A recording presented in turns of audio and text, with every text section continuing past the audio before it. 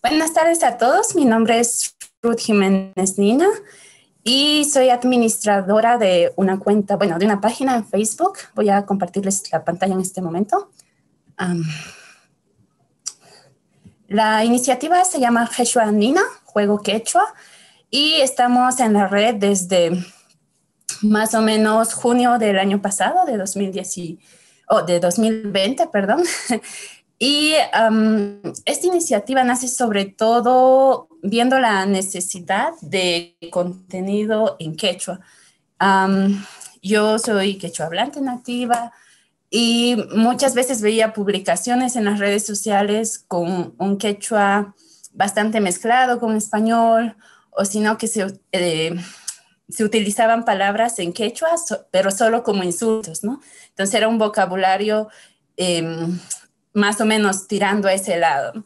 Pero em, yo como hablante y como mujer también, porque muchas veces eran publicaciones muy machistas, em, no me sentía capaz de compartir esa publicación y decía que qué pena que no haya algo bonito, bien hecho y con, como con mucho significado para compartir en quechua, ¿no? Entonces, nace la idea y digo, bueno, si nadie más lo está haciendo, ah, alguien tiene que empezar, ¿no?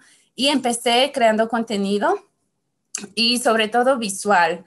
Entonces, la página es, como dice el nombre, es un sitio web de sociedad y cultura entonces, estamos enfocados tanto en hablar sobre identidad, sobre bilingüismo, sobre actitudes lingüísticas en español y a veces en quechua, pero también producimos material que puede ayudar en las aulas a los profesores o a los que están aprendiendo quechua por sí mismos, ¿no? Como Ah, voy a mostrar un poco de nuestro contenido y ahí vamos a poder ver. Ah, y también difundimos la, cualquier publicación que encontramos en quechua de otros creadores. Este, aquí, por ejemplo, es, es un proyecto de la universidad que se encarga de prevenir o dar información sobre el COVID. Lo encontramos por ahí, entonces lo compartimos.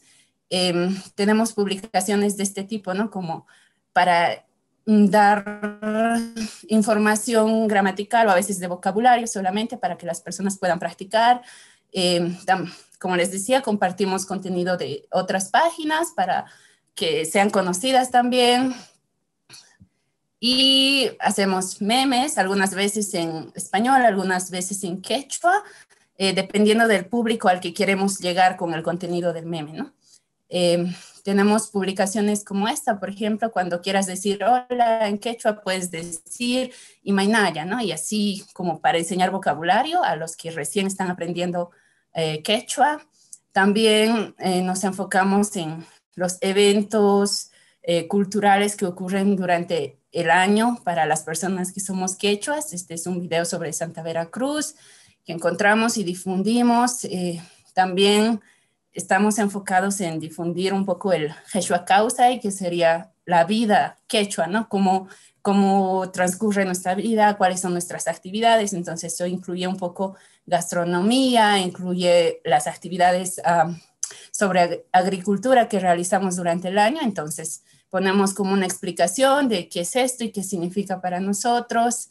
Eh, también este año, nuestro proyecto inicial para empezar el 2021 fue hacer un calendario que sea en quechua y por, por necesidad y por contacto en español también, ¿no? Entonces es un calendario con fotografías del contexto que tiene el vocabulario y que puede servir en las escuelas o para las personas quechuas que simplemente quieren tener un vocabulario en su lengua, ¿no? O bueno, un calendario en su lengua.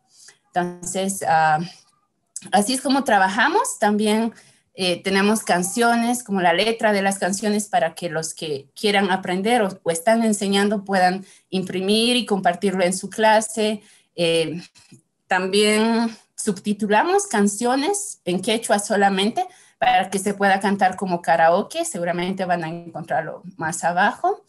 Y bueno, eh, hacemos memes y un poco de, de todo. Entonces, si quieren visitar nuestra página, están totalmente invitados creo que hemos podido llegar a, buen alcance con algunas publicaciones. Este, por ejemplo, como 148 veces compartido. Eh, nos llegan mensajes a veces de personas que dicen, ¿no? Como, ah, yo me he ido de mi pueblo y mi abuelita hablaba quechua, ahora quiero aprender, gracias por, por poner información y estoy aprendiendo por mi cuenta.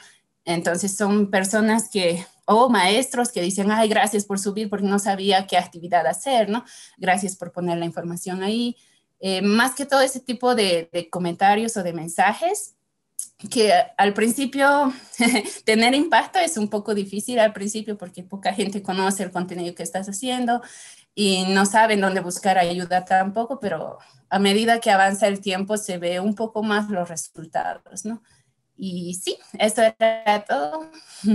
Eso de parte de Jeshuanina.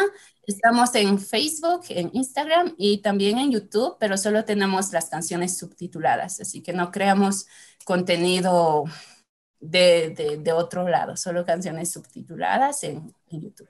Gracias.